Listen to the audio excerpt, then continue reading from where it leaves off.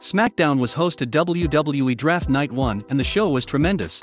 There's hardly anything to complain about from the show, that said, this is a best and worst, and the two aspects of this week's show that did not quite hit home will be mentioned here. While there's not enough space to mention every positive from WWE Draft Night 1, rest assured that it was a good show. If SmackDown hits a home run like this every single week, fans would certainly celebrate. What did you think of this week's episode? Let us know in the comments below. Feel free to disagree with the opinion of the reviewer. Number 3. WWE Draft Night 1 Best and Worst, The New Day splits up. Is the New Day splitting up once again on WWE Draft Night 1 a good thing or a bad one? It's very hard to tell at this stage of the game, and it will become more obvious with the passage of time. Also, with Big E on Raw and Drew McIntyre on SmackDown, when do we get to see these two gladiators lock horns? Last week on Raw, a lot of fans were excited by the possibility of this encounter. One has to believe that it's going to remain a dream match for somewhere down the line. It would have been cool to see an extended Hurt Business vs New Day feud, but we got what we got, one has to believe. Big E has the chance to do great things as a singles competitor away from the comedy that comes with being a part of the New Day. This reviewer can't come to a conclusion about whether the New Day splitting up on WWE Draft Night 1 is a good thing or bad. Chime in below with your thoughts. Number 2, WWE Draft Night 1 Best. Everything about the Seth Rollins home invasion.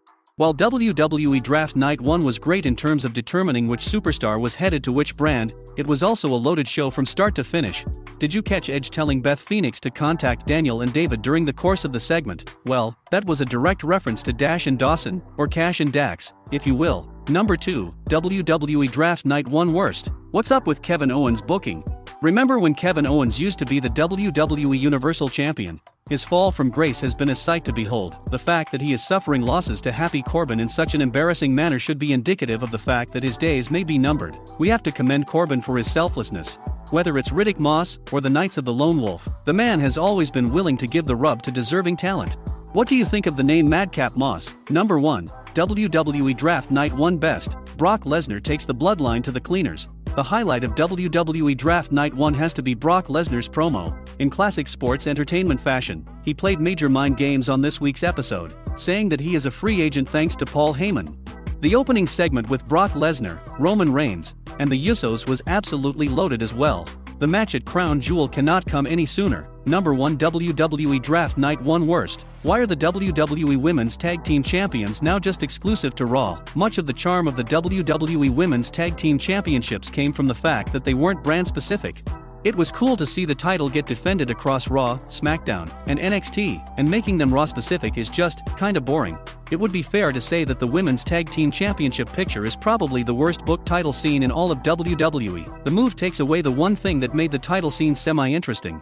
SmackDown Women's Champion Becky Lynch has commented after not getting drafted on night 1 of WWE Draft 2021, clarifying that she is not eligible to be picked until next week's Monday Night Raw. Night 1 of WWE Draft 2021 tonight on SmackDown saw some interesting moves on both brands. Universal Champion Roman Reigns was the overall number 1 pick as he was drafted to SmackDown.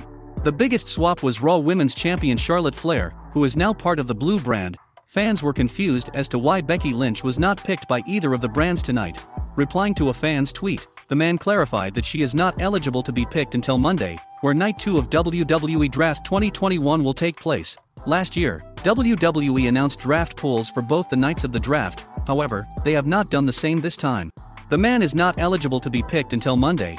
I wanted to give people more time to put money on the table, said Becky Lynch in her tweet.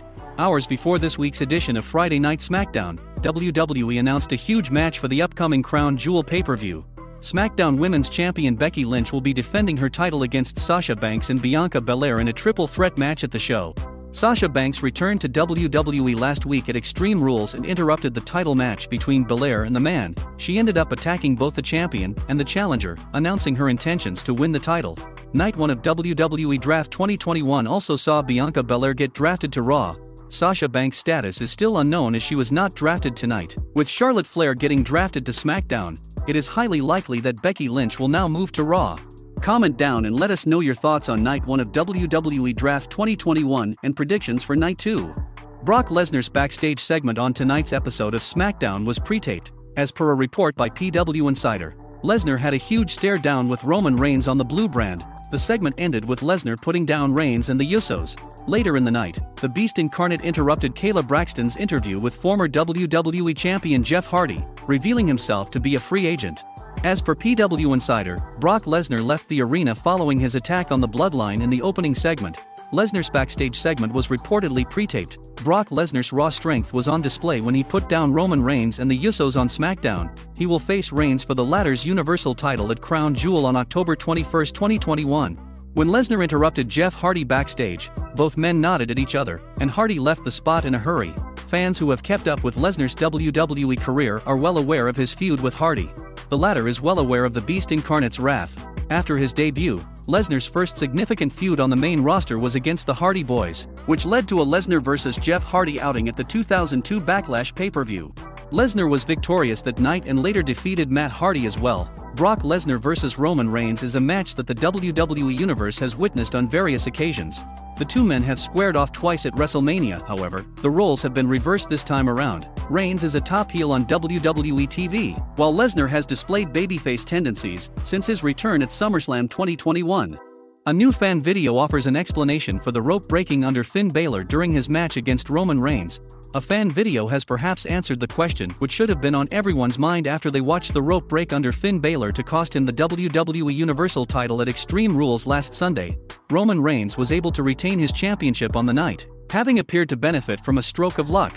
Balor, who fought as his demon persona, managed to survive a spear before climbing the ropes to hit the coup de grace, but the top turnbuckle suddenly gave way, presenting Reigns with an opportunity to hit Balor with another spear and claim the win. WWE has used such effects during matches before and such spots usually involve a ring collapsing. Fans will remember the trick coming into play during a match between Big Show and Brock Lesnar, as well as one between Mark Henry and Big Show. Of course, the rope breaking under Balor was all part of the plan on Sunday, and a new fan video has exposed a cameraman with what looks to be a knife making a cut on the rope. Reigns is now set to defend the Universal title against Brock Lesnar at Crown Jewel later this month. It appears Balor's run in the main event picture might have come to its end, and it will be interesting to see what WWE does with him moving forward.